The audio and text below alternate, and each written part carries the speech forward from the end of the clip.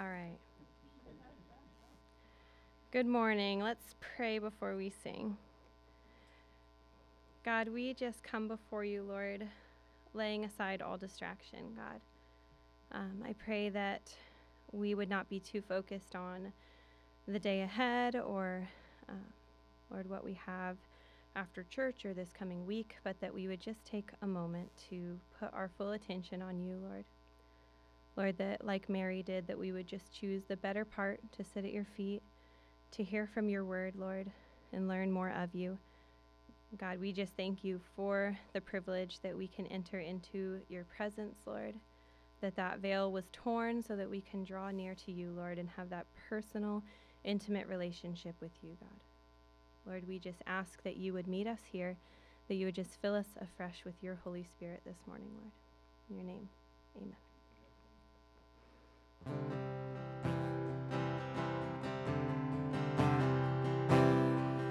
You are a deep, deep well.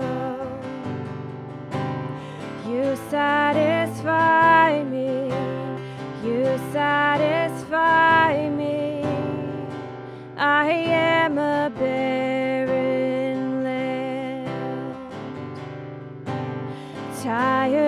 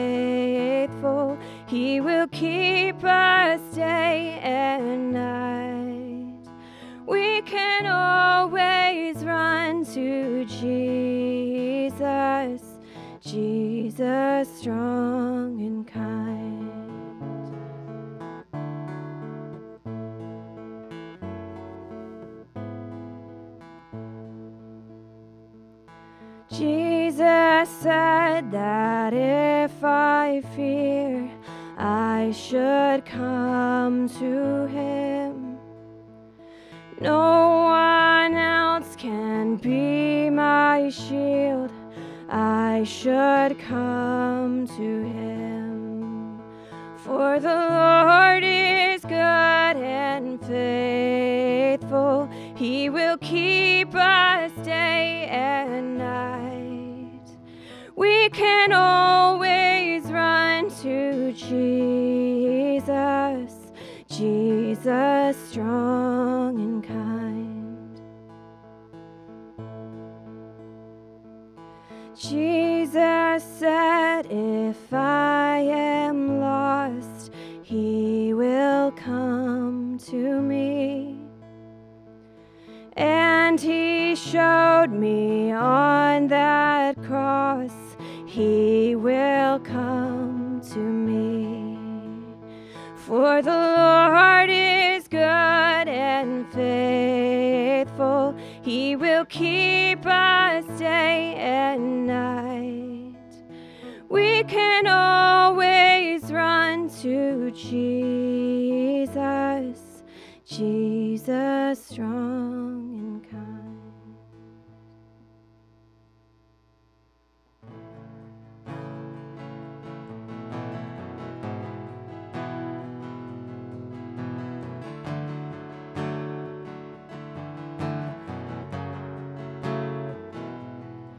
God, I look to you. I won't be overwhelmed. Give me vision to see things like you do. God, I look to you. You're where my help comes from. Give me wisdom. You know just what to do. I will love you. I will love you, Lord, my strength. I will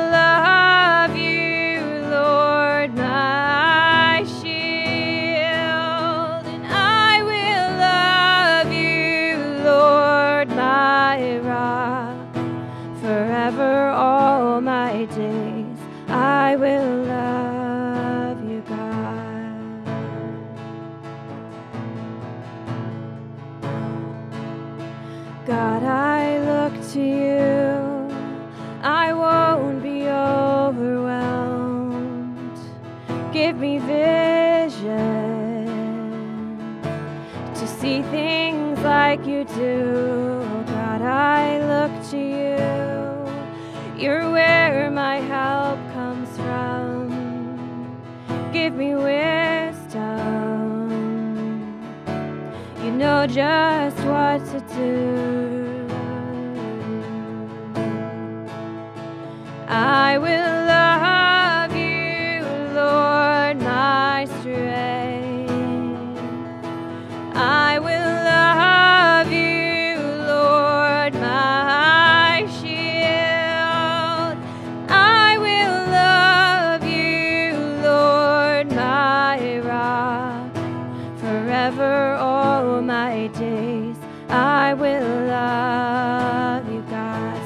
hallelujah.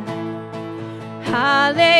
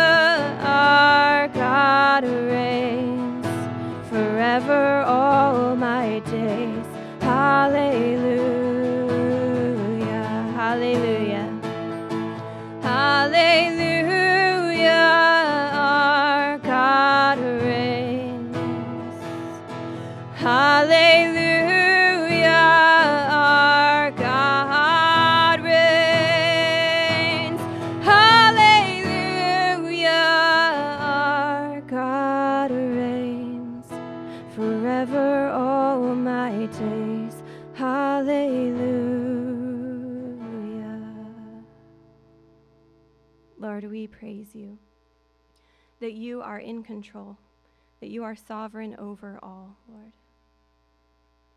Lord, that you have a good and perfect plan for each one of us, Lord. That as we trust in you and lean on your understanding instead of our own, Lord, that you lead us forward in things that are for our good. Lord, things that grow us up and mature us, Lord. Lord, that give us a ministry in our lives to share the love of Christ. Lord, by our words, by our actions. God, I pray that you would just pour out your spirit on our lives, Lord. Lord, that we could pour that love back out into others. God, we just thank you for all that you are to us, Lord. Our treasure, our great reward, God. Lord, as we open up your word, I pray that you would bless it, Lord, that it would accomplish your will.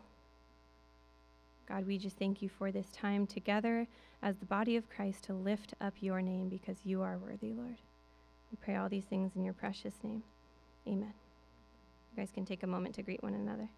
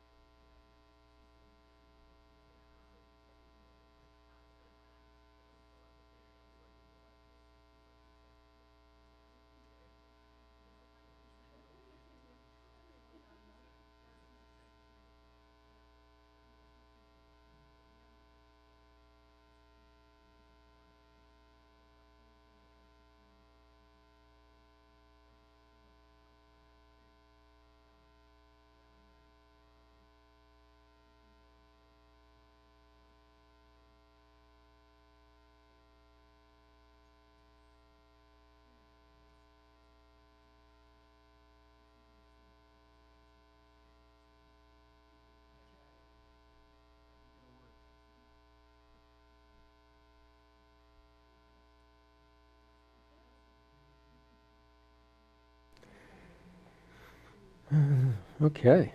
Well, good morning. What a beautiful day. It's deceptive. It's cold. That's okay. I'm going to get these keys in my pocket. Okay. Well, um, just to kick things off, had a few announcement ish things. Um, I'm not sure. I, I, did. I just noticed yesterday evening, but um, local headlines. I guess Oceanside High School football team won Northern State or Northern Class C. I didn't realize they were Class C. When I was a kid, Mountain View was Class B. Maybe that's why we're so terrible. I have no idea. But um, Class C champion football teams. That's kind of cool. Um, something to celebrate as a community. Um, so if you see any kids with football helmets on, that's probably what they're doing. Uh, I guess they had a parade last night too, with the police and everything. So pretty pretty big deal. Um, maybe I think I might have heard the sirens. Uh, uh yeah, that's what it was. I, we hear it all the time, so I was like, oh, another fire. But wait, this was legit. All right, so you were there. Um, um, another thing that's going to be happening, we did it last year. We uh, took some time around this time, Thanksgiving time, and we ended up uh, decorating the church, and we still have all that stuff. And I was told that my mom is going to be the the leader for that, so you can go to her and ask her, ask Deb, any if you want to help with that. I think I'm not sure what the the day we were going to plan. Sunday after Thanksgiving, so that's when we're going to do it. Um, we'll plan to do that, um, and we'll dig all that stuff out. And and then for the rest of the um, the men's fellowship is going to be this Saturday morning at 9. Um, so if you want to come out to that, welcome to. It's going to be right here in the sanctuary. And then we have our Thanksgiving fellowship there, Wednesday night, the 22nd. We're going to do a hangout, potluck, whatever style food you want, because the next day is traditional, right, or whatever you do. So you can do whatever you want. Taco bar, I don't, you know, whatever works. But um, we're going to meet together for Thanksgiving, a little church family Thanksgiving on the 22nd, and it'll be at our regular time, uh, 6 o'clock. So we'll, we'll get right into it, though. So if you want to come early, that's totally welcome, too. Go ahead. We'll be here. Um, and then, uh, along those lines, I did want to mention that um, the youth outreach ministry that we've been participating in has been going great, and uh, I posted some things about it. Um, they're actually taking a break because of um, just the for for the month of November, they're actually doing some stuff to the community center, so they can't meet. So they're just going to postpone it through the end of November. So if you're planning on coming or thought about it, that's what's going on. So he told me, um, Doran told me that they were going to just hold off until after November, and then he'll let me know when things pick back up. But it's been really great to to be participating in that. So if you have questions or want to ch- chat about that, let me know. And and then just another reminder: Christmas Eve falls on a Sunday this year, which gives us an interesting decision to make. So we decide not to choose, choosing both. So we're going to do Sunday morning service, BAU, business as usual, and then in the evening, uh, maybe uh, four or five, we'll have to decide the exact time. Um, we'll have our evening service, which is focused on Christmas specifically. So we're not going to deviate from our normal, regularly scheduled programming. We're going to just add the Christmas Eve service like we normally would if it wasn't on a Sunday. So that was the solution. So if you can come to both, that'd be great. If you can come to one, just that's awesome. If you can't come to any, we'll have to talk after church. um, no, but uh, but it, we have some options there. We'll be here for both. So. Um, and then on a more serious note, well, we were to, um, shown on Facebook this morning, friends of ours, uh, the Schwartzes. Um, uh, Mark is um, pastoring a church in Augusta for Calvary Chapel right now. His wife Holly um, there too. And uh, Holly posted this morning that their son, their oldest son Josiah, was in a very serious car accident, either last night late or this morning early. I'm not quite sure. He had to get life flighted to Bangor, like emergency surgery. So very, very serious um, issue. So we ask for a prayer for him and their family as they're going through a very traumatic and sudden shift in life, which can happen from time to time, unfortunately, um, in various ways. But this one, he's a very young. I think he's 19 maybe 20, not just very, very young. Um, so very serious car accident. I, I believe it was a car accident. She just said a very serious accident. He was in emergency surgery, but stable. So, but never quite out of the woods with stuff like that. So we just want to pray for them. So as we open up, we will do so. Um, Lord, we thank you so much for the opportunity to gather as your people in your name. We pray that you would just bless this time of study in your word, that you would fill us with your Holy Spirit, give us understanding in the things that you have for each one of us to glean from this, this passage that you've chosen today as we go verse by verse through this book of 1 Corinthians. And so we just uh, open ourselves up, Lord, to whatever you have to say. Lord, we also lift up to you our dear brother and sister and their son, um, Josiah. I pray you'd be with him as he's going through this. Give the doctors wisdom and insight. Uh, we pray that you would receive the glory for the outcome and that you would just continue to work in the situation and to give the family uh, peace and comfort as they're going through this sudden change. Um, just, just things come up and it's just very very difficult, but Lord, you are the comforter and you are the healer, and we, we know that you are there for all of us, and we just pray that you just give them this comfort today, Lord. We continue to lift them up as we hear more and more. We just, we just pray that you would be with Josiah and heal his body, Lord.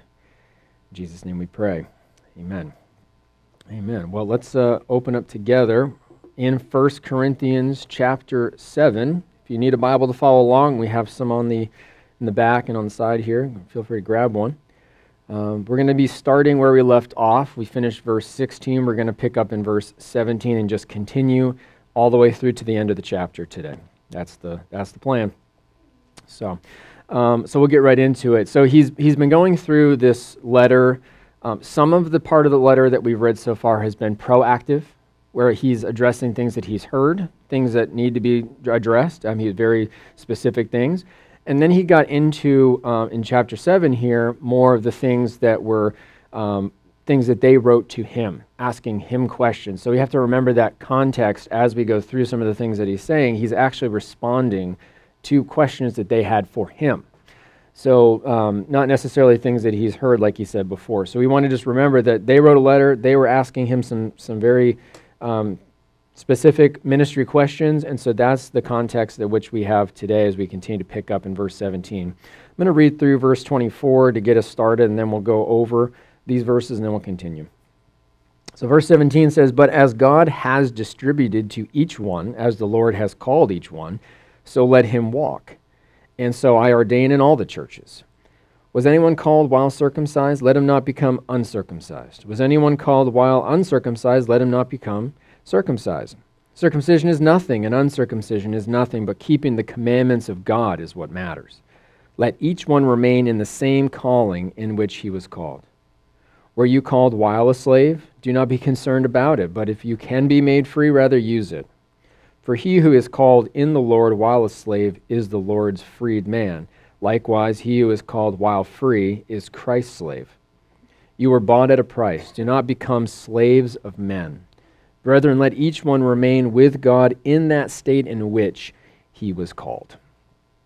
So, again, seemingly pretty straightforward. I want to, you know, as we go through, just kind of pull in other aspects of things that Paul has spoken of in, on these subjects and just kind of uh, unpack it a little bit. So, first thing he says is, but. So, there's the previous thing. So, when he says, but, and he goes on, he was talking before about a marriage relationship. And so we kind of have to remember there's like relational things. There's states in which you're you're called into. You're he was talking about if you're already married, don't see like these different things. So in that same vein of thinking, but as God has distributed.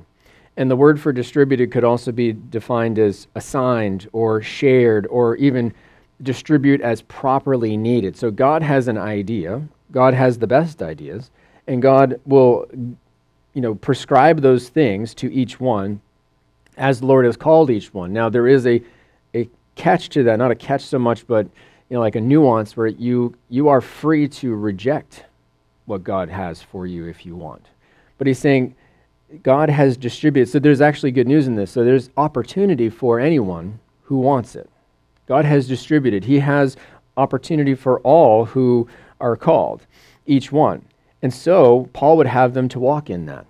Paul would want them to walk in where they were called what they were called to you from the Lord, the whatever they were called into, and then they continued to walk. And we talked about that walk is a sustained um, forward pace. Something that you do when you walk somewhere, you can probably walk a lot farther than you can run because eventually you're going to burn out and you're not going to be able to run. And if you just sit down and do nothing, you're not going anywhere. So the walk is a great example of what I mean. Think about I mean, know, not all, all of us are Forrest Gump. We can't run cross country, but some of us can walk a long way. With you know, and something that God made our body is designed to be able to maintain that particular pace for a long length of time. And it's supposed to kind of give us a picture as we're just going to continuously keep walking and moving forward in this calling that we have from God. We don't want to just sit back and not respond to the call. We don't want to just run forward and get ahead of it and just do whatever we feel like we want to do and, and kind of impose our will on God. We want to be the ones that walk according to the calling that God has for us. And we get to also do that together as a church. When we are in the body of Christ, we get to help each other, point things out, edify, build up, even point things out that need to be adjusted, as Paul has been doing this entire time. And so that's why he ordains that in all the churches. That's why he's arranged for that attitude and that outlook in all the churches, because that needs to be present in all churches. There's no church that should not have that, right? So that's pretty much apparent as we go through. And he's, he's set this up to be that way. Um, it's a common occurrence, not an exception. This is, this is the way it needs to be. And that's why we look to the Bible, to you know, the Gospels, the book of Acts, the, the letters from Paul to model, to to fulfill the things that God has called us to do. We, we only know what God's called us to do because we read His Word and learn what it is. Because honestly, our instincts, our thoughts and opinions on things are probably going to be skewed on our feelings and our flesh. We need to refer back to the instructions. We need to refer back to the base. We need to refer back to what is solid and what is understood. And that's why we go through the Word of God verse by verse so that we don't miss anything, we have the opportunity to receive the full counsel of God's word. That's what we're trying to do. So, this is exactly what Paul's doing. He's pointing this out and, and asking them or telling them to just walk in the calling that God has for you. Verse 18, he says, Was anyone called? So, he's going to talk about the calling part because sometimes there is a misunderstanding, and maybe the question that they asked implied that there was a misunderstanding about the calling. And, and we kind of saw that before as, you know, what if I'm married and what if I'm not married and what if I have I'm married to an unbeliever? And so there was the scenario thing. So he's saying, was anyone called while circumcised? Let him not become uncircumcised. And in this sense, he's really referring to the circumcision of like being of the Jewish heritage. Like you can be called by God into the new covenant out of the old covenant as a circumcised person. And it's kind of odd to think about it today, but um, there was a lot that went into that, more than just a surgical procedure. Uh, common practice now for babies, but honestly, it meant a lot. Sometimes it meant you could operate in the world, and sometimes it meant that you couldn't operate in the world, like actually trade and buy and sell and, and do anything. There was actual restrictions based on who you were, and that circumcision represented something. Now, also, circumcision was not a practice only of the Jews. Of course, we historically it was practiced on other religions, and so it wasn't exclusive to the Jews, but it meant something specific to the Jews based on the old covenant, based on the covenant that Moses had with God, and that, and that was established in that sense. So he's saying, so yes, you were circumcised when you were called. So you were you were a Jew who was practicing the Jewish faith, and you were called into the new covenant. That's that's perfectly fine. Don't don't change your heritage or go back and unwind everything you've done, in a sense, and, and become something you're not. You know, embrace it. Actually, Paul talked about embracing the fact that the Jews, not that they're actually special people in and of themselves, but they were chosen by God to bring and p- produce the oracles of God. So they had the opportunity based on that, but it doesn't mean that they you need to change everything about. You don't want to hide the fact that you're a Jewish heritage. You don't need to cover that up. I guess for me, it'd be like trying to cover up that I was a hick from the sticks. How am I? Am I going to just like, you know, become Hollywood? No, I'm not going to do that. It's not going to work because I'm always going to be a hick from Waldo County. That's just the way it is. There's no, but I can embrace that, and God can use that. You know, and we all have our thing. We all have our heritage. We all have our where we came from. So he's saying, were you called while circumcised? Don't unwind that. And and I read in commentaries there literally was ways, and back in the day they could unwind that. We'll just let you think about that for a minute. And he says, was anyone called well uncircumcised? Let him not become circumcised. And there was that whole thing that was dealt with in Acts 15, uh, which we're not going to read the whole chapter, but it had to do with the fact that the, um, the Judaizers were coming in and trying to impose the Jewish heritage of the Old Covenant and circumcision on Gentiles. And Paul was saying no. And they went to the, the Jerusalem Council, and which you know Peter was a part of that. And so they ended up coming up with a solution was to write the letter that says, no, don't do that right? So we, we understand that we don't need to become Jewish as part of being called. God's not going to call us to be Jewish because that is a, a lineage and that is a covenant under an old covenant that is established and has a purpose even in the future, as we read in Revelation. But it has nothing to do with the new covenant in Jesus' blood. Jesus was a Jew, and then and he came right, and he delivered the world, but not to deliver them to become Jewish and then be saved, where it's not Jesus and the old covenant, like that type of thing. So he's saying, don't impose these the law on yourself. Don't don't go that direction because it's not going to gain you anything, as he says in verse 19. Circumcision is nothing, and uncircumcision is nothing. In and of itself, the act is nothing. It doesn't mean anything. It doesn't do anything. If you are, you can act circumcised without having the procedure done because it's a matter of the heart you can do all kinds of things without having the physical altering of your body. So that's why it's nothing. It doesn't actually, it was a symbol, it was a representation, it was an outward symbol of an inward change. We kind of do that in baptism today. It's an outward symbol of an inward change. It's a one time deal, kind of like circumcision, but a little less permanent because we don't hold you under forever. You come back up renewed, right? So the baptism is representing that you can you're representing yourself with Christ, his death, burial, and resurrection. He comes back up. So don't be trying to do it in the flesh to, to add something on like circumcision. It says right here in verse 19, but keeping the commandments of God is what matters. That is what actually matters, nothing else.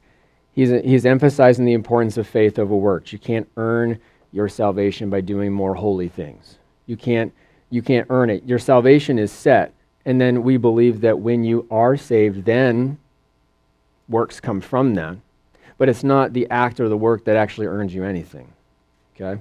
So he's being very careful to put this that here. Guzik had a really good quote in his uh, commentary about this. He said Paul's point isn't really about circumcision. That's just an example. I kind of talked about that. Even as being circumcised or uncircumcised is irrelevant when it comes to serving God, so is your current marital state. He could just as easily say, and is saying by analogy, married is nothing and unmarried is nothing, but keeping the commandments of God is what matters. So you can kind of insert your reasoning here if you'd like. You know, it's the same idea. You know, the act of the, the thing is not the focus, it's the heart behind it, right? It's the matter of the, the heart. So it, that's exactly what you need to put the focus on, not the thing, not the object, but the, the, the meaning behind it what it's all about. Verse 20 Let each one remain in the same calling in which he was called. So it's an interesting one because he wants us to remain in the calling. He doesn't want us to necessarily put on something that doesn't fit and try to fit a square peg in a round hole. But there are also certain things that we know, uh, and if you take it out of context, then you could you could layer a lot of things onto this. But it's not saying that no matter who you are or where you are or what you've done or what you're doing, you're all good. Just don't don't leave the um, you know don't relieve the same calling. D- remain in the same calling, meaning like do whatever you were doing and continue to do whatever you're doing. and doesn't matter. Just be saved and move on. It's it's not saying at all. And there's there's a lot of denominational aspects today that some people embrace, like everyone, all all roads, you know, all ways are right which we know is actually wrong. But what he's saying here, let each one remain in the same calling in which he was called, he's going to go on to explain it in context. He gives examples, being in verse 21, while a slave, or, and, and he talks about the slavery thing, and it kind of adds that understanding that it's not just meaning like anything that you did or anything you're doing, just go ahead and, and maintain whatever you're doing. He's not saying that at all. Um, for example, and it, it kind of talks more about your like the aspect of what you're doing for your for a living, for example, because this is talking about slavery, which in that day was a, uh, an employable position. Like you were a bond slave, or you could be a servant, you know, those types of things. It was, and just like Paul has talked about in other passages, uh, specifically in like Ephesians, we know that being employed in their day it was called it could be called slavery certain aspects of employment so it, we, if we want to think of it that way let each one remain in the same calling in which he was called i would say you know don't try to change your entire life in, in a sense like everything about it including like being married or not being married or you know different aspects that really don't have anything to do with your salvation or your calling. Because you don't want to like you said before you don't want to limit what god can do in your life in your situation. You've gained a lot of uh, you know people and, and, and relationships and so if you suddenly are a changed person and you remain in the calling and you're, you're kind of doing the same thing and you suddenly appear different that's going to be more dramatic than if you just peace out go somewhere no one ever knows who you are and just show up one day and you're completely that's the first time i've ever met you before there's no dynamic like everyone I went to high school with would look at me sideways because I'm not the same person I was. And that's more of a glory to God than me showing up to some random person's class reunion and saying, hey, how, nice to meet you. How's it going? Like, they have no context. They have no reason to understand anything different. Like, you're a pastor. Yep. Well, that's cool. Like, as, as opposed to, you're a pastor. Do you remember who you were back then? Like, yes, I do. I do. And it's, I'm different. Now, one thing I did mention to myself, I, I took some notes. Um, some people um, have a lifestyle that they are in that could be considered criminal. So I would say this is not referring to that. So if you're a criminal and you're doing criminal activity, then you shouldn't be in the calling which you were called. You should stop the criminal activity. So just that's like a disclaimer, little like little asterisk at the bottom there, because you know you could maybe justify that and say the Bible said not to change what I'm doing, even though I'm whatever. You know I'm not going to get into it. But you know what I'm saying. Okay? So, in the same calling, the same call from the Lord in which you were summoned by God, as you repent and you change your life, you know, you don't necessarily have to change all those details at once. He might call you to a different job. He might call you to a different town. He might do that over time, but don't don't use your salvation as an excuse to like wipe everything in your life completely away and just go somewhere else where nobody knows where you are. That's not what he, he's saying. Don't be that dramatic because that's not going to be giving God the opportunity to work in the situation that he, he called you from. And so you don't want to take that opportunity away because the, there's more glory to God in that. I think that's what, that's what he's trying to say. Like, let each one remain in the same calling. Don't panic. Don't freak out. Just let it ride for a minute and see what happens. See what God's going to do with your new transformed life in the calling with which you were called. And then he gives the example were you called while a slave? And the, the word for slave is uh, doulos, which is the bond slave, which ironically, we use that term in the New Testament to describe believers, you know, slaves of Christ. And, uh, and he kind of talks about that in verse 22. So, you know, in one sense, it could be a derogatory term, and you might feel like if you're a slave or a bond slave in that day, that was your employment, you made that decision while unsaved, you feel like maybe you're entitled to having that undone because I've changed my mind. Well, you kind of can't change your mind in that day. This was the way it was. You, you made a commitment for life. So you were in that unless you were freed. And that's why he says here if you were called while a slave, maybe you could be made free. Go ahead and use that.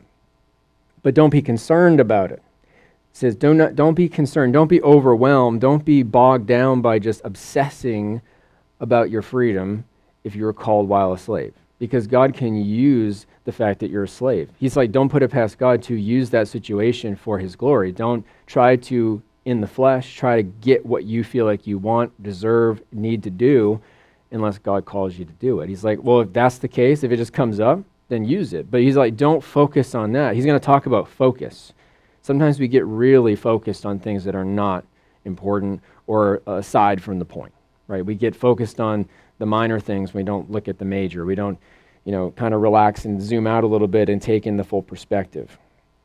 So he's like, so if you were a slave, don't be concerned about it. Don't be overly worried about it. um, you know, the word for concern could be like um, taking an interest. Don't don't be so obsessed about or concerned with that one thing, um, giving it all your thought because that's going to take away from anything else that's going on. Don't be concerned about it. He's like, don't worry about it. But if you can be made free, rather use it. If you can be released, and that's what happens, and that's what God does. Now, yet some of the commentators made a point that, and some people emphasize in this case that Paul is saying, you know, if you can, do it.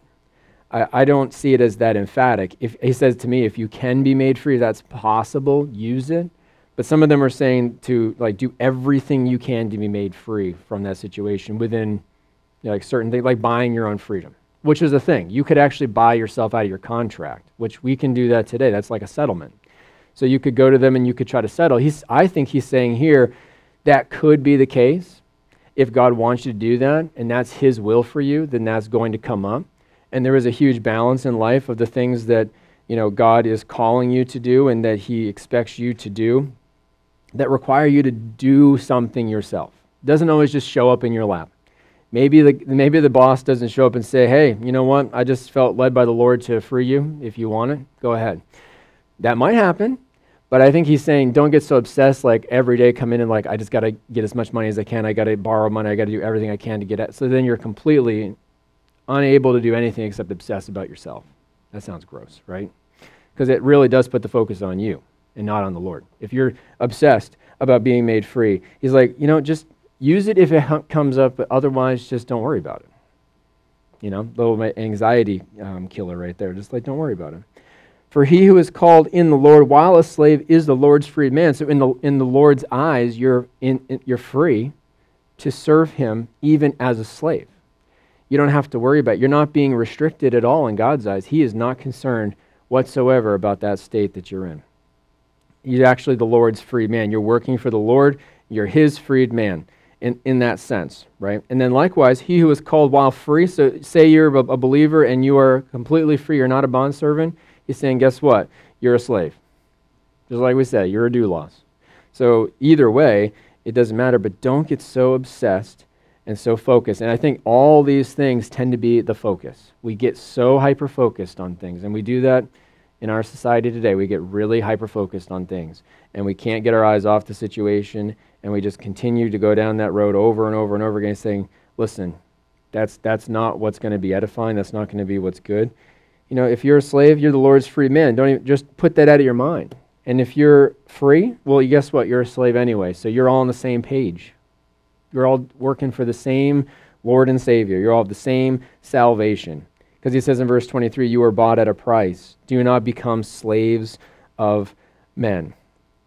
And it was actually verse uh, 20 of chapter 6 that talked about that. He said, For you were bought at a price, therefore glorify God in your body and in your spirit, which are God. So he made a mention of the same, the same thought of being bought we are purchased. When we purchase something, we have a right to have it, to take it. It's ours. We bought it. So when you think about it that way, Christ bought us at a price. So that's the, the semicolons there saying that could be a complete sentence. So we were bought at a price. And if you think about it, I, I come back to this verse so many times. It's, it's so, it's definitely one of my, I mean, the whole Bible is a life verse, but I always think about this when I think about getting selfish and thinking about myself. Romans 12, verses 1 and 2. Paul is, says, I beseech you, therefore, brethren, by the mercies of God, that you present your bodies a living sacrifice, holy, acceptable to God, which is your reasonable service. I love the fact that it says reasonable service because it, it's not one of those like high and mighty, lofty things like, how could this be? This is reasonable. It's reasonable if someone bought you at a price that you are their slave. And if your Lord, your God, bought you at a price, and he freed you from sin, now you are his bondservant. That's reasonable. It's not unreasonable to think that you would have a changed life and actually be, as he says in verse 2, um, not be conformed to the world, but be transformed by the renewing of your mind. Your mindset will change, it won't match. When you think about things and then you look at how the world thinks about things, they're not going to match up. That's reasonable and that's good. It's actually a good gauge. If you're agreeing with the world on a lot of things, there might be a problem. Right? If you're conformed to the world and you're not being transformed by the renewing of your mind, it's not doing what he says, which is proving what is that good and acceptable, perfect will of God. He wants you to think differently. He wants you to remember that you were bought at a price. He wants you to really embrace the fact that we are not our own. And he certainly doesn't want you to become slaves of men. We're not going to get bogged down with the cares of the world. He's going to talk about cares a little bit later, but the cares of the world, things you're obligated to that are temporal, those are the things we need to shy away from. We need to back off of those things. Don't become slaves of men and what they think and the things that they want you to do and expectations of other people, especially not in the church. We need to put our focus more, and not necessarily on a church, but the church, because the church the body of Christ is everything in this life. It really should be. I feel like sometimes, and I've had the same mentality, is that we, we feel like church is just a thing that we do. It's just a place that we go and we once a week, and that's it.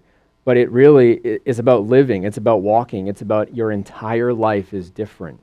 And if it's not, then you should really pray about that or ask somebody about that because that is exactly what Paul is saying. This is not just for a couple of ex- or, you know, like really fanatical people not for just a couple people that you know act like this. Those are the, the really churchy people and then everyone else is just normal. That's not the way it's supposed to be. Everyone is bought at a price. Nobody should become slaves of men. We're all in the same boat. We all are all in the body of christ. We all have different roles to play different things to do. God calls us at different places in our lives. We do different things. But we're all united in christ as the body. That is the same. So we don't want to exclude ourselves from that. We don't want to take ourselves out of the opportunity that God has for us by just having that mentality where it's like it's not really a life changing thing. That it's not something that really makes a difference in our lives. That it's just something that we, we check a box. Don't become slaves of men. Sla- men will tell you, you know, feel better about yourself, check a box, move on. The Bible, God is telling you, invest your time, your effort, your energy in the things of God. That is what matters, not the other stuff. Everything else is temporal, everything else is going to burn up. He's going to talk about that later, too. So, brethren, he's talking to the, the believers. Let each one remain with God. That's important. You're going to remain where you're at with God. So, it's not remaining by yourself looking from the outside in. You're saying you're with God in the state in which you were called. God is right there with you in the state you're called. You're not at a distance looking on the horizon, just needing to start moving toward his calling. You're called now. And he's going to grow you and edify you, and he's going to bring you to that sanctification process, that being made holy. You're going to do that stuff that he calls you to, but you don't have to worry about being kind of on the outside. Remain with God in the state which you were called. Remember that God is with you through this entire thing. That is an important detail that a lot of times we might miss. I think a lot of times we get frustrated, we get really um, overtired, we get just to the end of burnout, and we feel like God is not there. But it says we're to remain with God in the state we're called. God's there with us the whole time. Every step that we take, He's there. We just maybe we're not listening or looking for Him. That's that's our bad. All right, verse 25 as we continue. We change the subject again. Remember that he's getting questions asked of him. And so what we're seeing here is there was a question asked about uh, virgins. So let's just read what he says in the context here. Now, concerning virgins, I have no commandment from the Lord, yet I give judgment as one whom the Lord in his mercy has made trustworthy. I suppose, therefore, that this is good because of the present distress, that it is good for a man to remain as he is. Are you bound to a wife? Do not seek to be loosed. Are you loosed from a wife? Do not seek a wife. But even if you do marry, you have not sinned, and if a virgin marries, she has not sinned. Nevertheless, such will have trouble in the flesh, but I would spare you. Um, so we'll stop there for just a second. So this is now talking about a different subject, right? So we've got this thing about virgins, and the word for virgins is a, a woman who has never had sexual relations. It's literally, you know, not known man. So essentially, what he's talking about when he says, I have no commandment, what we have is no historical context that the Lord has spoken on the subject specifically. But what we do have is the Lord has given judgment to someone who is trustworthy, like Paul, to read into what has been commanded and then can gain from that specific advice that seems good and because he's, he's trustworthy which basically trustworthy means he's faithful reliable loyal like he is full of faith like that type of thing. So it's not to say it's just well this is it is his opinion in one sense but his opinion is based on scripture. There's just no place kind of like before we talked about this there's no specific place that gave us that commandment from god. And he's not giving us a thus saith the lord like like the old school prophets did.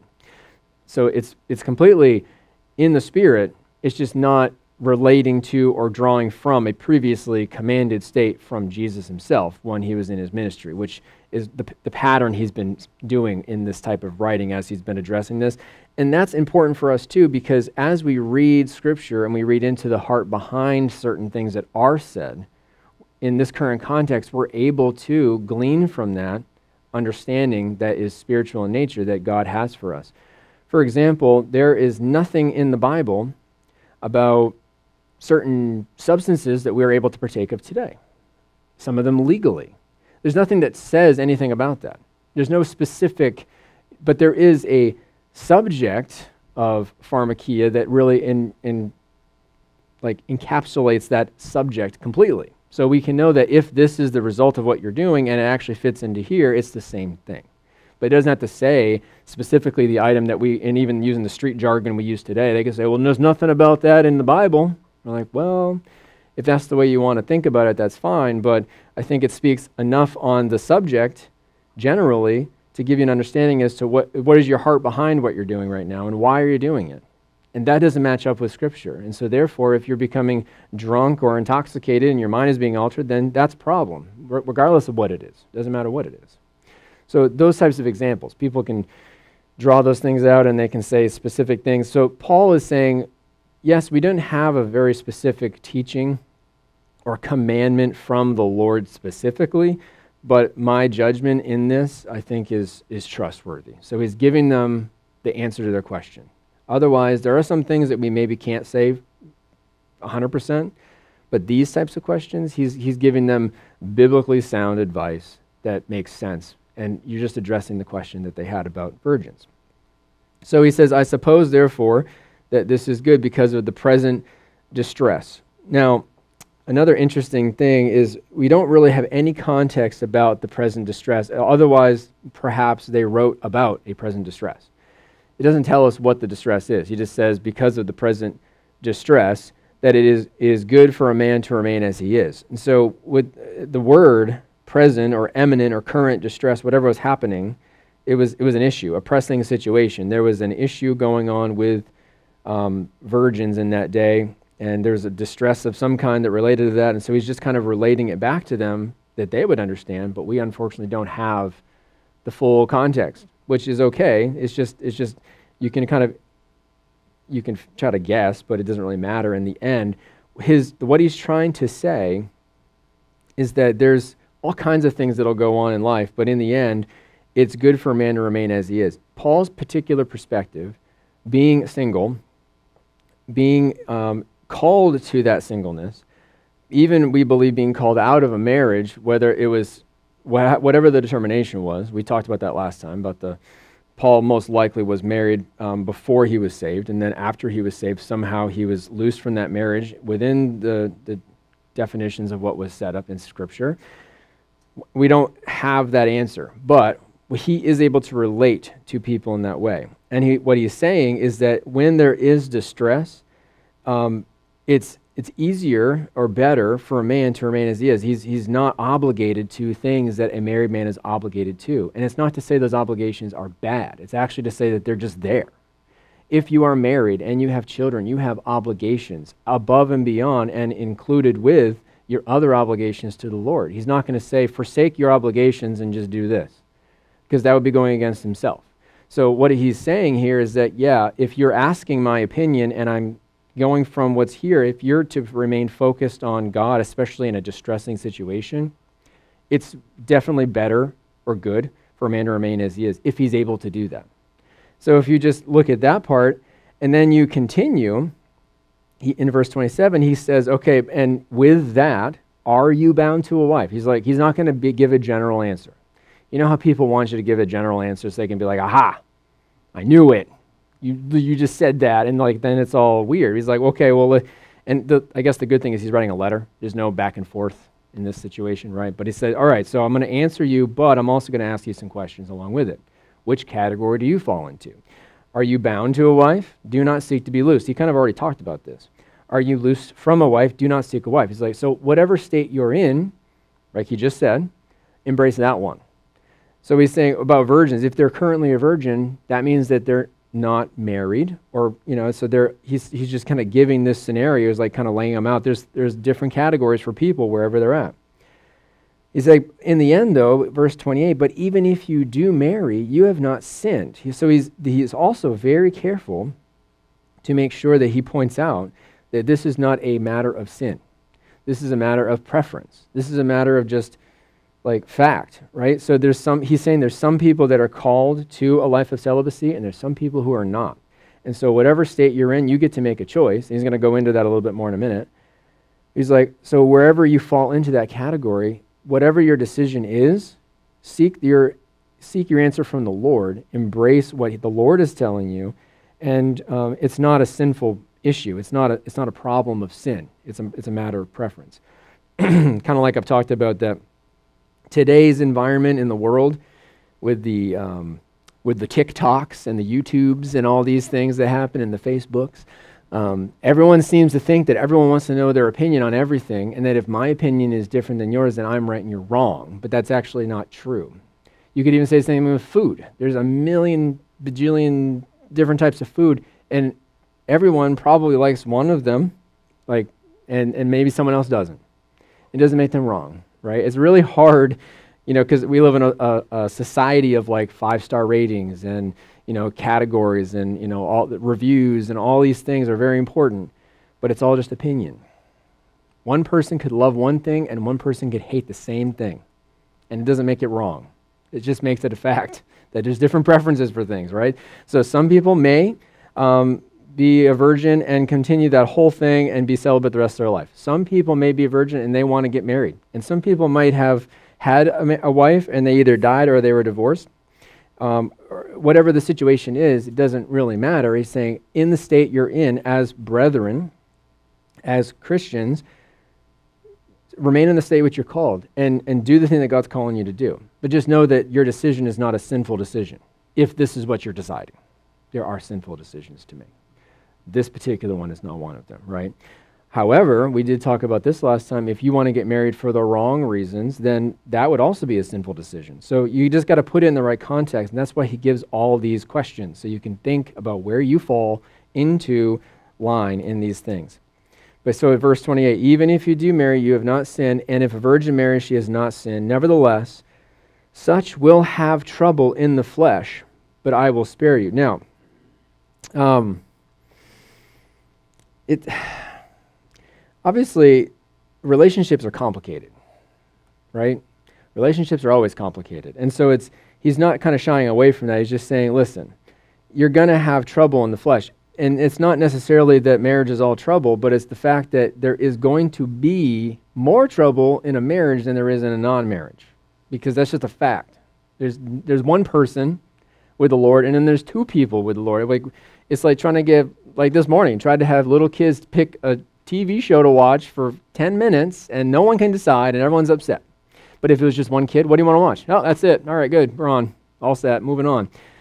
That's the way you can think about it that way. Same idea. He's like, I, I'm telling you, I would spare you. He says, I would, I would love to spare you or have you abstain from the problems that come from a marriage. But he's not saying it's all problems. He's saying there are problems right? So embrace that. And that's what marriage counseling is all about to remind people that there are problems in marriage from time to time, sometimes more than others. That's just the way it is. So it's just the practical advice. He's really just wanting them to, to not um, make a, a, a, a, rash decision, you know, make a, make a wise decision. Um, but then he goes on here and. Uh, and continues to explain a little bit more about why he's saying that. Because, and we're going to talk about this in just a second, but think about from Paul's perspective, um, he's thinking that there's, there's no time to waste. And I think that that mentality was designed by God to help us in our life, even 2,000 years later. Okay, and we're going to go into that in just a second, but just think about this. There is an, an imminent return of Christ at any time, and that mentality is a healthy one and is designed, I believe, by God so that we're not just sitting on the couch waiting around for something. We're actually actively waiting and anticipating something. There's a difference, right? Not just get saved and then sit back on the Christian couch and wait for God to arrive. We have things to do, and it could be any time, right? So, with that, he says, This I say, brethren, the time is short, so that from now on, even those who have wives should be as though they had none. Those who, and then just out of context, there's a comma. It continues. It doesn't stop there because that's a little weird sentence. Those who weep as though they did not weep, those who rejoice as though they did not rejoice, those who buy as though they did not possess, and those who use this world as not misusing it, for the form of this world is passing away. There's the full sent- two sentences, full context of what he's saying. Because if you just take that one thing, I say, brethren, the time is short, you know, act like you're not even married if you are. That's weird thing to say. Like, what is he saying? Why would you say that? That's really, after what you just said, Paul, what are you doing? So, uh, again, when people take one verse and they just, you know, murder it like that, it can really mess with your head and you get this weird feeling in your in your body that's like, you know, I don't like what was just said or it, you know, I, I can't believe this was just said. You know, I can't believe this is going on. And then if you actually read the rest of it, you'll be like, oh, okay, well I guess I can I can understand. So let's let's talk about this. So the time, and I love this word time. Because the time, we think about time in, in, a clock, but this time is kairos, which means it's a season or an opportunity or an occasion. Like it's a fitting season. This is the time. The time, the season is short and it's wrapping things up. There's a limit to the season. And we know that to be true. It's going to come to an end. We were told that that end would be when the Lord returns or pulls his church out. Right? So there's, um, there's some who want to say that um, Paul was either a false prophet because he predicted something didn't happen or because um, it's, it's been a long time. But it's all relative, right? The word short and long. Like he's saying short because it's going to be the season will come to an end. The season of the, you know, we call it the church age. This season will be short in comparison to all eternity. It's not going to be that long. Or you think about your entire life being a little dash on a, on a gravestone between two dates. It's relatively short considering um, that everything in the Old Testament has been established from creation all the way through all the old prophets. And then all of a sudden, the Messiah comes and he's killed and he's resurrected and he goes up. And now the season is short. We don't know how long it's going to be, but we need to act like it could be any day. So that's a short season. Some people get all, all whacked out about that.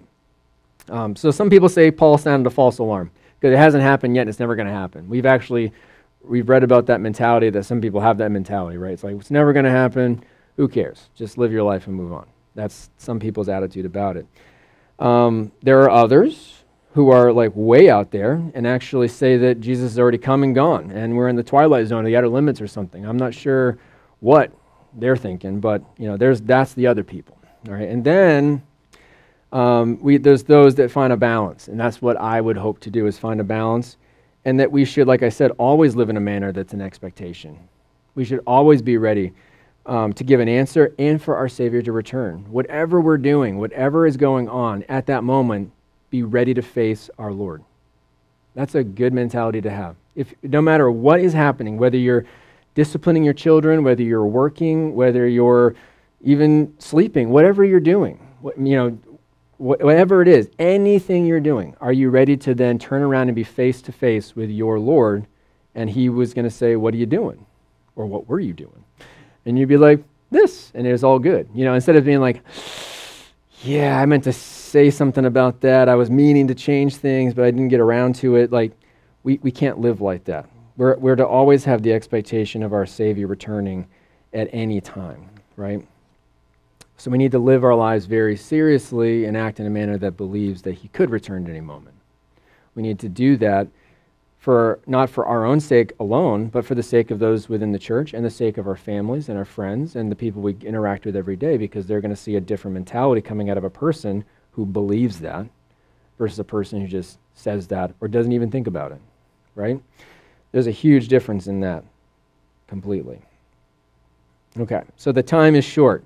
So that from now on, even those who have wives should be as though they had none. It's, again, it's talking about don't get hyper focused on certain things. Like, don't, in, in the context of what you do in your life, we have to maintain as a, this, this might cramp your me time a little bit, maybe we'll say it that way. So, you, know, you have a spouse, children, you have work, you have all these different things that you need to do, but you should be focused so much on what the Lord wants you to do, which is going to include those things, and not get hyper focused on the little things or the like the, the little events, like getting really upset, weeping, and like even being super happy.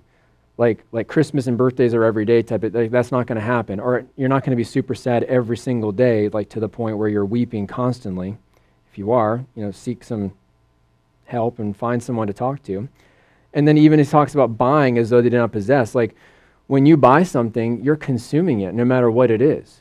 You buy a brand new car, it's being consumed rapidly by the salt on the on the in Maine anyway, right? You buy a house and it's not really appreciating, it's depreciating because every day that goes by, that time is ticking away on this house. It's not going to last. No matter what you invest in in this earth, it's not going to last. That's why he ends the whole thing on the form of this world is passing away. That's why he's talking about use the world is not misusing it. It's misusing stuff to be focused on the stuff. The stuff is just a means to get us to the end. It's not the stuff, it's not the focus, it's the end. So he's saying don't get focused on all the minutia, as Greg would say. He loves that word, minutia. Don't get focused on the minutia, focus on the end result. Look to the end. You know, we're on our way there, and time is short. Don't waste your time. Focus on this stuff. So he's not saying that you should be married and act like you're not. That's not what he's saying. He's saying, you know, be married, do your things, and stay focused and, and be okay with that. Like there, there is a time for it being like downtime and, and family time and even me time and all those things, but you need to do it in balance. You need to do it in the right perspective, looking forward to the end. Because the form of this world, no matter what you're holding on to on this earth, you can't keep it. Doesn't matter what it is not even your marriage.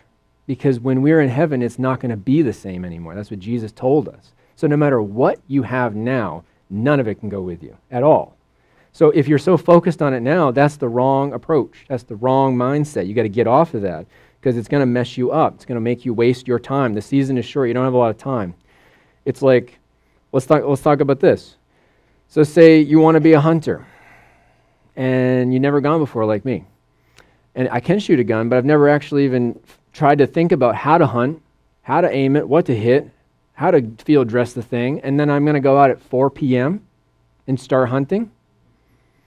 Time's a little short. You don't have much time at this point. Your the sun's going down on your opportunity to be hunting at this point. You know what I'm saying? So the more you wait around and you don't invest in the things you need, if you want to be a hunter, you need to go to a hunter safety course. Buy some orange Get a rifle, practice with it. You know, like learn about the anatomy of a deer, how to cut it open. Like that's what you need to do. So as a Christian, you need to learn how to be one and do it and practice it and get with people who do it all the time and focus on the right stuff. That's what Paul's trying to say here. He's not talking about not being married when you're married. That, that's weird. So don't do that. So, because the form of the world is passing away, it's passing away. Um, and the form is the schema. That's the word. So it's the schematic. The, the actual present form of the world is going to be disintegrated. Um, Peter said it's going to um, burn up real hot. It's going to be passing away and disappear. Everything we see now, it's going to be gone. So don't worry about it. That's basically what I think he's saying, anyway. Because then he says in verse 32, but I want you to be without care. Um, without care, the word means uh, concern, um, free, even free from anxiety in some contexts. It, doesn't want you to get all bogged down with these things, get all concerned about these things. Um, he who is unmarried cares for the things of the, of the, Lord, how he may please the Lord. But he who is married cares about the things of the world, how he may please his wife. So in this, he's saying that he's only trying to spare them, like he said in verse 28, and try to help them understand there's going to be trouble and know that I don't want you to get bogged down with the things of marriage necessarily if you can stand it, if you're called to that, because there's more of an opportunity to serve the Lord in that. There's more of an opportunity to, to care about the things of the Lord, how you may please the Lord. because the, the reality is is if you are married then you are called to almost divide that time up. You have to. Because you can't neglect your spouse if you're a christian. But you are now forced to take you can't take a second and make it into two. You can't split your time like that. It actually is divided. You only have a half a second. When you divide something it has to be split up. So if you're married you have to divide your time there's no way around it when you have children you have to divide your time you have to find the time carve it out there's no other way around it. You can't make more time. It doesn't work that way. So the time is short. He's trying to spare them from the, the additional obligation if that's what they're called to. He's like, if you're asking me, I'm telling you this is maybe better. This might help you out if you want to think of it this way, because you can please the Lord as a Christian more if you're unmarried because you don't have to focus or divide your time. So that's, that's a good thing, you know, in, if you just put it all out there. Now, it's not always possible. And he's actually talked about that. It's not possible for every single person to be as Paul is. And so he's giving room for that too, but just just to put it out there fact black and white, you can't divide your time. He who is married cares about the things of the world because you have to. You have to to provide for your family. You can't just go walk the mountains by yourself and not care about anything if you've got a wife and kids at home. That's not paying the bills. That's not providing them what they need. That's not covering them. That's not washing your wife with the water of the word. That's not doing anything except just going on a mission for, by yourself. Some people do have mission trips they go on, but that's not what he's talking about. He's talking about dividing your time up. It's going to happen if you're married, and it's just the way it is. He said there's a difference between a wife and a virgin, verse 34. The unmarried woman cares about the things of the Lord, that she may be holy both in body and spirit, but she who is married cares about the things of the world, how she may please her husband. Same, same idea, um, you know, back the other, other way. So it's just from the different perspective. Now, one thing that I wanted to point out in that, and this is maybe a practical, uh, historical context for this, you know, kind of how you can think about it. Um, Jesus in Mark chapter 12, verses 41 through 44, um, made a statement, he, an observation. And it kind of like encapsulates what is being said here. He says this Now Jesus sat opposite the treasury and saw how the people put money into the treasury. And many who were rich put in much. Then one poor widow came and threw in two mites, which make a quadrans, which is not a lot of money. So he called his disciples to himself and said to them, Assuredly I say to you that this poor widow has put in more than all those who have given to the treasury. For they all put in out of their abundance, but she out of her poverty put in all she had, her whole livelihood. Now the reason that is makes sense here is because she's unmarried, she's serving the Lord, and she made a decision to put her entire livelihood into the pot. She didn't have to consult anybody except God. She's trusting the Lord to provide for her. She made that decision on her own because she is her own woman. She's a widow. She's not obligated. If she was married, she would need to make that decision with her spouse because that's part of the deal, right? She can't just take all the money and throw it in a box and then he's chasing after her because we haven't bought any bread. We can't feed the kids, you know, like stuff like that. You can't do that. So, again, that's a practical um, example of what Paul is trying to say. He's trying to show how those things have to be in place, right? And he goes on to say, This I say for your own profit. Not that I may put, he says, it says a leash. Um, not that I may put a leash on you, but for what is proper, and that you may serve the Lord without distraction. Now, the reason it says leash is because they didn't really, what a leash does, it restrains something, right? Hold something back, like your dog, right? We're not putting leashes on people in the Bible. That isn't what it is. It actually is better uh, translated noose or like a, a snare. It's, it's really like obligating someone at, by force. You know, I'm not gonna, I'm not forcing you to do something. This is for your benefit, your profit. This is for you to bring for gain. Um, not not my me putting some obligation or restriction on you that I'm holding you back, that I'm the one telling you what to do, and I'm like jerking the chain like that. That's not what I'm saying. It's a, but it's for what is proper, that you may serve the Lord without distraction. He's saying, let's let's say what it is. It's, it's just so that it's the best thing, that you're not distracted by the things of the world. That's the only reason. And that's for your benefit, for your profit. So don't, don't worry about that. Um, Guzik said this. I liked what he said. He said, um, though Paul insists he does not want his teaching here to be regarded as a noose around anyone's neck, this has happened in the church. Roman Catholics insist on celibacy for all their clergy, even if they are not gifted to be so. Many Protestant groups will not ordain or trust the single. So man has adapted certain things that come from maybe a good thing and they've twisted them into an issue. Think about all the problems that we see coming out of the church because of forced celibacy and like all kinds of weird issues that happen, all this perversion that happens. That shouldn't be. There's no commandment for those things. It's just the rules of men. So again, Paul's trying to say like follow your conscience, follow the Lord. Do this is for your profit, but it's not me just restricting you or commanding you in something. It's just so it's for proper um, service to the Lord without distraction. That's, that's his goal. He's not trying to benefit personally from any of this. He's not trying to feel like I'm bossing the Corinthians around. I'm telling them what to do, and if they don't do it, I'm going to crack the whip on them and kick them out or whatever. He's not saying that. He's like, this is so you can serve the Lord without distraction. And, and even if you do have a distraction in a marriage, it, like if you're already married or whatever, he's like, that's okay. Don't try to get out of it and wipe the slate clean. That's, he's really just going over this over and over to make sure they get it, right? Verse 36 uh, but if any man thinks he is behaving improperly toward his virgin, if she is past the flower of youth, and thus it must be, let him do whatever he wishes. He does not sin, let them marry. Nevertheless, he who stands steadfast in his heart, having no necessity, but has power over his own will, and has so determined in his heart that he will keep his virgin, does well. So then, he who gives her in marriage does well, but he who does not give her in marriage does better. Now, I'm going to stop there just for a second because, well, maybe more than a second, but this is interesting. As I was doing this study, I found that those particular verses, for some reason, are highly debatable by commentators. It's weird. One thing just to think about, and I looked it up, all of the pronouns, which we love the word pronoun today, but all the pronouns are non definite. It actually doesn't say gender specific pronouns in the original text.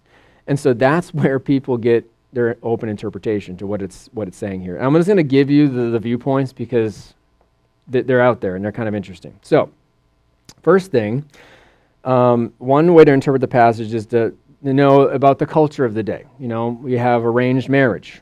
We, we kind of understand it's a thing. We don't practice that today in America, but in the world it is practiced. And in this day, it was highly practiced. It was more of a uh, business obligation or like a business venture where you can join two families together for the better of everybody and that was a good thing so there, that's that's one thing and so basically if you think about it that way and what we just read and considering too that the new king james version that i read i'm going to read a couple others real quick just to compare it assumes the context is talking about a father talking about a daughter because that's why they insert the pronouns does that make sense so when we read the pronouns, just know that the other versions, I, I don't necessarily agree with them, but they're saying because of that, you can kind of read into it a little different. So uh, just keep that in mind. In my version, it puts the pronouns in there gender specific because so, it has to, based on the, the uh, interpretation of it. Okay, so what he's basically saying is all right, so if you're a dad and you feel like you know you want your daughter to be in that situation where she's able to serve the Lord, and that's what you want to, um, you're going to like almost sacrifice your ability to gain that business partnership with other family for the Lord. And it's like, that's great. But it says, if any man thinks he's behaving improperly toward his virgin because of that mentality, he's saying that, and then it says she's past the flower of youth. That just means that she's of age to marry, uh, if you wanted to know. And, and thus it must be. So basically, if she's not called celibacy, and he's forcing that on her as the father, and then it just doesn't work out. Like, don't worry about. You're not sinning to let them marry in that case. That's what he's trying to say. Does that make sense? So he's saying, all right. So if you if you have a check because she's coming at you saying, I want to get married, and he's saying, Dad's saying, no, we want to serve the Lord. We got this letter from Paul. Talked a lot about being, you know, staying unmarried, and that's better. Know, Paul says it's better. Let's do that. But she's saying, I want to get married. He's saying, don't fight that because clearly she doesn't have the gift of celibacy. Don't force that on her. You're not sinning to let them marry. I also think that he put that thing about he does not sin because of what was already said. We already went over when there is sin and it needs to be addressed. So he doesn't want them to be over ambitious and say, this guy let his virgin daughter marry, and they shouldn't have because Paul had talked about it's better, this, what, you know what I mean? So He doesn't want them to get carried away. So he's saying it doesn't, it's not a sin to get married. Clearly, God ordained marriage. If there, she's not called to um, celibacy, you're not, you're not doing the wrong thing to allow it to happen. Go ahead and do it. It's fine. Okay? So that's one, that's one take on it. Um, when you read the actually the New International Reader's Version, it actually gives you the, the, a different kind of look on it um, altogether. So here's what it says the same passage. It says, Suppose someone is worried that he is not acting with honor toward the virgin he has promised to marry. So now it's not the father, but it's the, the man who's getting married. So that's how they interpreted the passage. So just see, see how that works? All of a sudden, like if, if you just kind of change the, shift the lens a little bit, you see it a little differently. Um, so it says here, um, Suppose his desires are too strong and he feels that he should marry her. He should do as he wants. He is not sinning.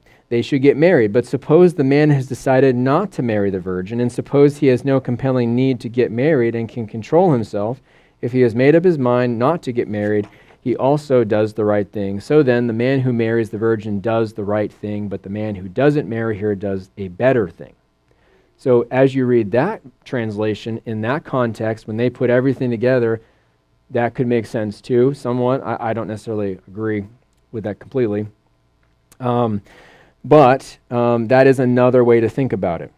Um, and then I was reading a commentary that gave another perspective, which I thought was interesting. And I'm going to I'm gonna quote this from the commentary just instead of trying to re- recreate it the Be- Believer's Bible Commentary says this says the RSV translates virgin as betrothed. So it takes the word virgin and says betrothed. And and by the way, the word for virgin there could be male or female, technically. Again, not gender specific in the original language. So with that, if you translate it betrothed, it says the thought would then be that if a man marries his betrothed or fiancee, he does not sin.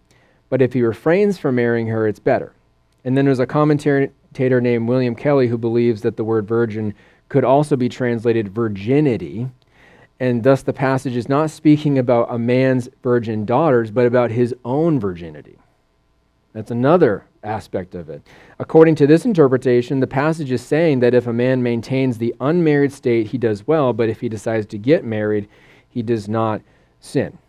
So, again, like three or four different viewpoints on this. But in the end, I think it makes the most sense in the context of historical, that this translation, especially being word for word, and in the kind of the flow, it goes from your own decision to then um, talking about someone else. I think it really refers to the, the young girl. But again, it doesn't actually matter because in the end, the final assessment from Paul is that um, either way is good. Not married is better.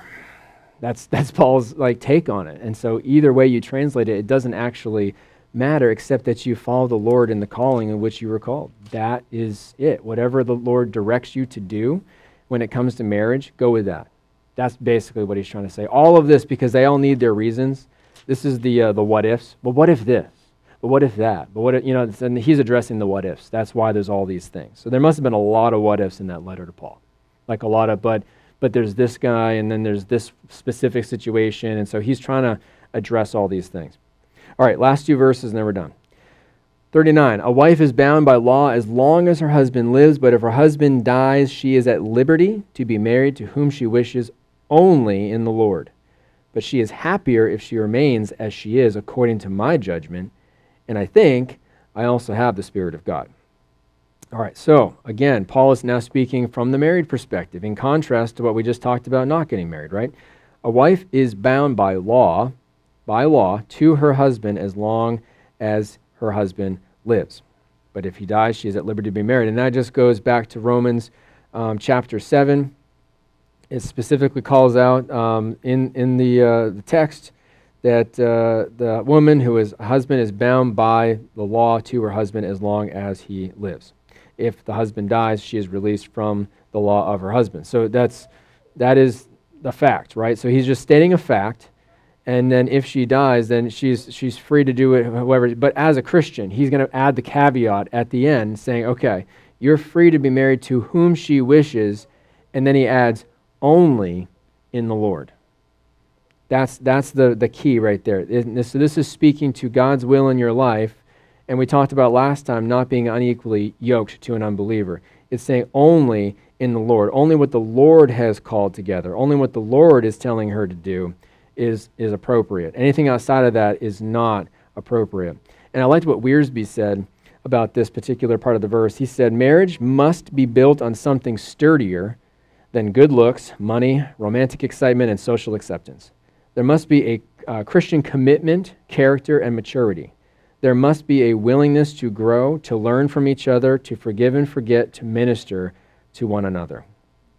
So it's more than just the superficial stuff. Only in the Lord. The Lord is not going to call us to superficial things, He's going to call us deeper than that. So it's going to be very clear, is, that, is what, I, what He's saying. It's going to be very apparent to, to not just yourself, but to other people that this is going to be appropriate, that this is going to be of the Lord, this, this marriage to another husband. And then verse 40, but he's, he always adds this in because we know what Paul's saying. He's saying it's, it's all a matter of just your, your, your opinion. It's really just a matter of preference. He says, but she's happier if she remains as she is according to my judgment, and I think I have the Spirit of God. And, and some people remark that um, that he's he's kind of saying that he doesn't have the spirit of God, or he's doubting his spiritual calling, and but that's not it. He's kind of being sarcastic and being like, I think, if I'm not mistaken, we've gone through seven chapters so far, and I'm doing pretty good, right? I'm, the Lord is speaking. So that's what he's saying. I'm like, I, I think I have the Spirit of God. I'm, I'm giving you judgment that's based on God's word. Check me. That's what he's saying. Go through and tell me if I'm not, right? That's kind of, he's kind of calling him out like that. Like, he went through a lot of what if scenarios so far. He's kind of like, okay, let's let's check let's check my work and see if I got where I needed to go. But it is true. He's saying it'll be happier if she remains unmarried. That's what he's been saying the whole time because of all the things he's already talked about. He's just reiterating at the end. So he thinks he has the Spirit of God. And I think the Spirit of God was here today speaking to us too. And now we finally finished 1 Corinthians chapter 7. So with that, let's pray. Lord, we thank you so much for the opportunity to get into your word. We thank you for it being so direct and so perfect. And we thank you so much, Lord, for the ability to read and understand and to accept these things as you tell them to us, Lord. And so we pray that you would fill us with your spirit, guide and direct us through the, you know, the remainder of this book and even the things we spoke of today. Lord, we ask for your guidance and your direction. We want to do your will. Uh, Lord, I just pray that you continue to work with us where we're called, where we're at, Lord. We thank you and we praise you. In Jesus' name, amen. Amen. Grace and peace.